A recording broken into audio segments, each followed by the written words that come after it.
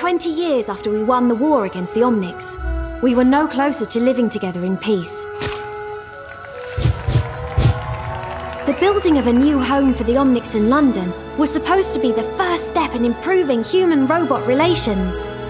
But it never had a chance. The Omnic extremist group, Null Sector, launched a surprise attack on King's Row. Hundreds were killed, and thousands more were displaced as they took control. Now, they are hunting down the last of the survivors.